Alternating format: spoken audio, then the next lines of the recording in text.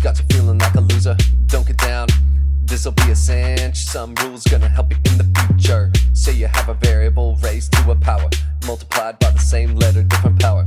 Add exponents and you're done. Moving on, same problem with the negative one. How's it feel? How's it feel? How's it feel?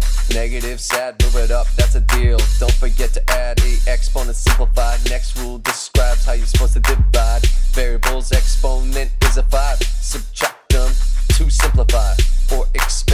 To to visualize. Next rule, powder powder gonna multiply.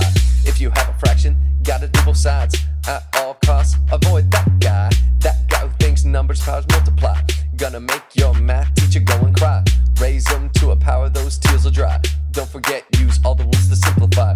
No negatives and no common bases. Solving this problem, you'll see smiling faces. Better take a photo, you know about exponents. Do it all the time, never rest, never settle. Do problems a day, a day, a day. Math's just a game, yeah, you know how to play. A day, a day, yeah, problems every day. No, nothing's gonna stand in your way. All the students stand up, dive, bomb, distribute. Polynomials multiply, but why? Gotta.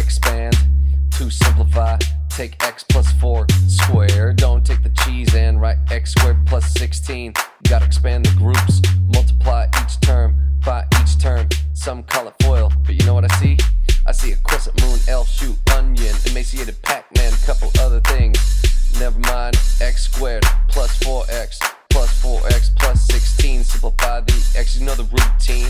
Final answer x squared plus 8x plus 16. Last step is how classify. Degree of 2, you know it's quadratic. Three terms, that's a trinomial. Oh my gosh, that was way too easy. Better take a photo, you know about exponents. Do it all the time, never rest, never settle. Do problems a day, a day, a day. Math's just a game, yeah, you know how to play. A day, a day, yeah, problems every day. No, nothing's gonna stand in your way. All the students stand up. All the students stand up. Stand up.